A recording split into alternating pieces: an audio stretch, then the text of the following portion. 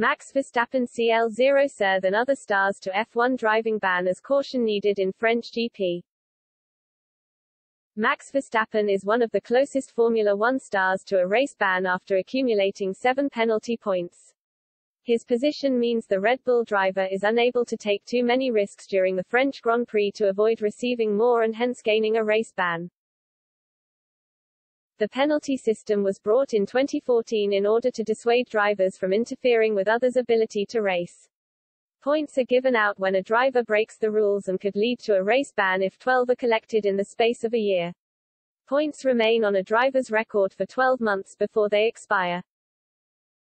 No driver has ever received a race ban for penalty points in Formula One however it has been met by some in the junior Formula 2 category. Amaury Cordeel was the latest driver to be inflicted with it being forced to sit out the British Grand Prix this year. Verstappen has been left in a tricky spot by points he collected towards the end of last season during the latter stages of his fierce title battle against Lewis Hamilton. He picked up two for taking out the seven-time world champion during the Italian Grand Prix before picking up a further two points for ignoring double-waved yellows in Qatar. He then picked up three points for two incidents with the Mercedes driver during the ill-tempered Saudi Arabian Grand Prix.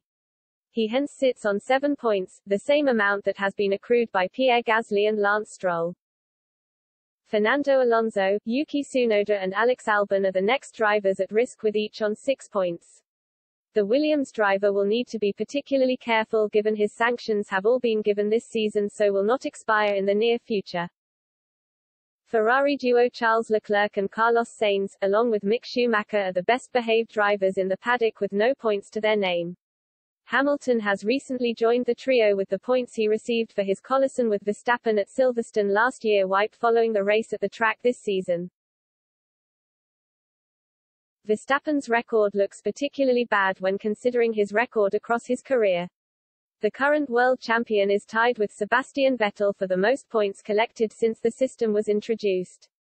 The pair have both received 30 points however the Dutchman has operated under the system for a year less than the four-time world champion. The 24-year-old will need to remain cautious during the French Grand Prix this weekend in order to ensure he can compete in every race this season to maintain his championship lead.